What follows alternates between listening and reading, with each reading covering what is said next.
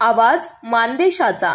म्हसवड शहरामध्ये होत असलेल्या सिद्धनाथ यात्रेच्या निमित्त शहरामध्ये कोणीही शुभेच्छा फ्लेक्स लावू नये असे आव्हान म्हसवड पालिकेचे मुख्याधिकारी डॉक्टर सचिन माने यांनी केले आहे. यात्रेनिमित्त शहरात जर कोणी फ्लेक्स लावले तर ते जप्त केले जातील आणि संबंधितांवर शहर विद्रुपीकरणाचा गुन्हा दाखल केला जाईल असेही पालिकेच्या वतीने सांगण्यात आले आहे.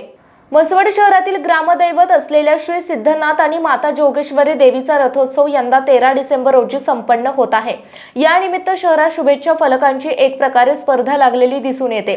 यामुळे शहराचे सौंदर्य बिघडत आहे. अशा फ्लेक्स वॉरमुळे अनेकदा सामाजिक स्वास्थ्य बिघडतेही त्याचा संपूर्ण यात्रेवर परिणाम होतो. त्यामुळेच यंदाची सिद्धनाथ यात्रा फ्लेक्समुक्त करण्याचा निर्णय आम्ही घेतला असून त्यासाठी पालिका हद्दीत सार्वजनिक जागेत कोणालाही फ्लेक्ससाठी परवाना देण्यात येणार नाही. फ्लेक्समुळे शहराला विद्रुपीकरण प्राप्त होत असल्याने यंदा हा निर्णय घेण्यात आला आहे. यासाठी पालिकेच्या वतीने शहरातील सर्व फ्लेक्स मेकर्सना नोटीस देण्यात आलेल्या आहेत. यंदाची ही सिद्धनाथ यात्रा शांततेत सुरळीत आणि फ्लेक्समुक्त करण्यासाठी पालिका सर्वतोपरी प्रयत्न करीत असून नागरिकांनीही यासाठी सहकार्य करावे असे आवाहन करण्यात आले आहे. मानसोफर न्यूज न्यूजसाठी प्रतिनिधी महेश कांबळे म्हसवड.